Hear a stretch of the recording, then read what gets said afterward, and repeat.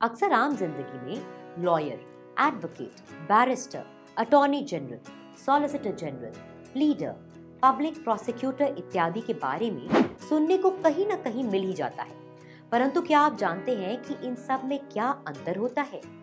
क्या लॉयर और एडवोकेट एक ही व्यक्ति होते हैं या इनके अलग अलग नाम हैं? क्या अटॉर्नी सॉलिसिटर बनने के लिए लॉ में डिग्री लेना आवश्यक होता है? इसी तरह के प्रश्नों को और शब्दावलियों को इस वीडियो के माध्यम से जानते हैं। लॉयर किसे कहते हैं?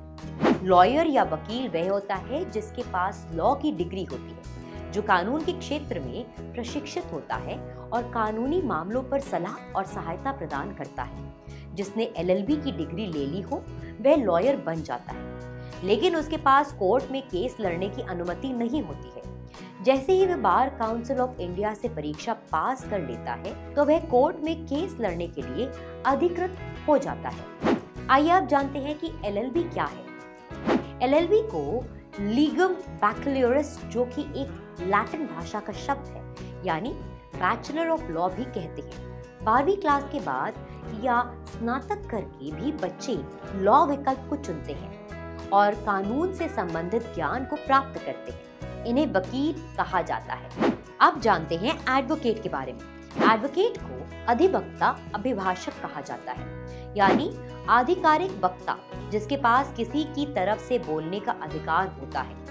यही आपको बता दें कि एडवोकेट इंग्लिश में एक वर्ब है, जिसका अर्थ है पक्ष लेना। एडवोकेट दूसरे व्यक्ति की तरफ़ से दलीलों को कोर्ट में प्रस्तुत करता है। एडवोकेट बनने के लिए कानून की पढ़ाई को पूरा करना अनिवार्य होता है। बैरिस्टर किसे कहते हैं? अगर यही लॉ की डिग्री कोई व्यक्ति इंग्लैंड से करता है तो उसे बैरिस्टर कहा जाता है। आपने पढ़ा भी होगा कि महात्मा गांधी के परिवार के लोग चाहते थे कि वह बैरिस्टर बने। इसलिए वो 19 साल की उम्र में ही कानून की पढ़ाई करने के लिए लंदन चले गए थे और वहीं पर उन्होंने बैरिस्टर की डिग्री हासिल की थी। महात्मा गांधी दक्षिण अफ्रीका से भारत बैरिस्टर बनकर ही लौटे थे। यानी इससे पता चलता है कि बैरिस्टर एक तरह का वकील होता है, जो कि आम कानून न्यायालय में अपनी प्रैक्टिस करता है। लोक अभियोजक यानी पब्लिक प्रोसिक्यूटर किसे कहते हैं? वह व्यक्ति जिसके पास लॉ की डिग्री है एडवोकेट होने की क्षमता रखता है, जिसने बीसीआई की परीक्षा को पास किया हुआ है। और अगर ये व्यक्ति राज्य सरकार की तरफ़ से विक्टिम का पक्ष लेता है और कोर्ट में प्रस्तुत होता है तो इसे ही हम पब्लिक प्रोसिक्यूटर या लोक अभियोजक कहते हैं। सीआरपीसी का सेक्शन 24 के दो यू में लोक अभियोजक के बारे में बताया गया है। लोक अभियोजक की मुख्य भूमिका जनता के हित में न्याय दिलाना होता है।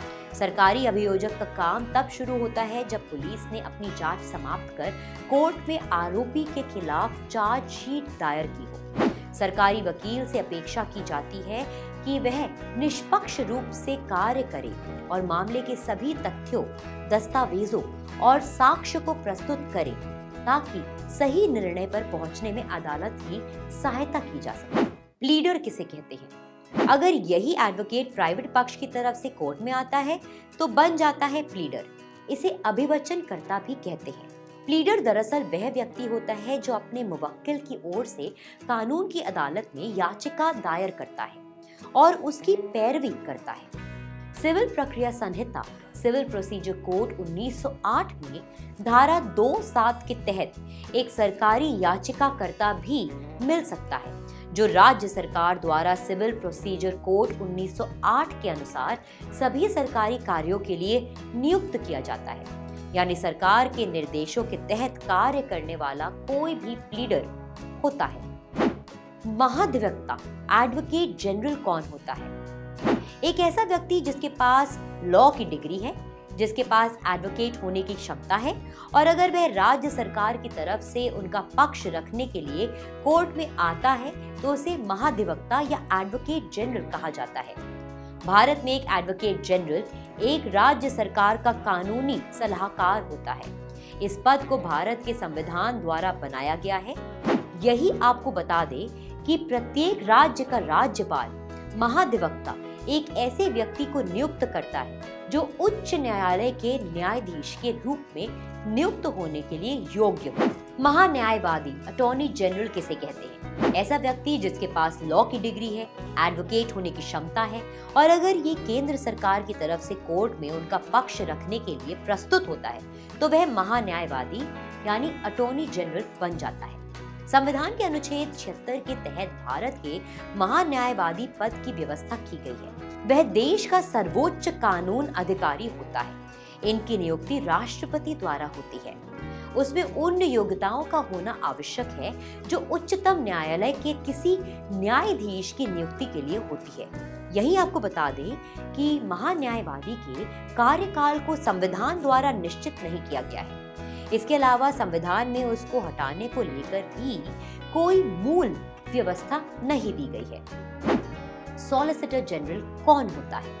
अगर यही व्यक्ति जिसके पास लॉ की डिग्री है एडवोकेट होने की क्षमता है और अटॉर्नी जनरल का असिस्टेंट बन जाता है तो उसे सॉलिसिटर जनरल कहा जाता है। वह देश का दूसरा कानूनी अधिकारी होता है अटॉर्नी जनरल की सहायता करता है और सॉलिसिटर जनरल को चार अतिरिक्त सॉलिसिटर जनरल द्वारा सहायता प्रदान की जाती है।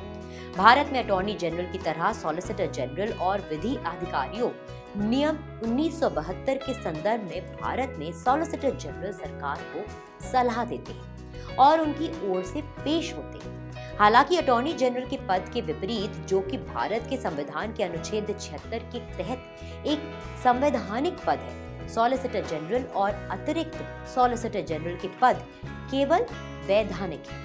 अपॉइंटमेंट कैबिनेट समिति सॉलिसिटर जनरल की नियुक्ति करती है। उम्मीद करते हैं कि अब आपको ज्ञात हो गया होगा कि lawyer advocate leader public prosecutor advocate general attorney general solicitor general इत्यादि शब्दावली में क्या अंतर होता है। अगर आपको ये वीडियो अच्छा लगा हो तो इसे लाइक करें और शेयर करें। और अन्य ऐसी ही वीडियोस देखने के लिए विज़िट करें जागरण जोश डॉट कॉम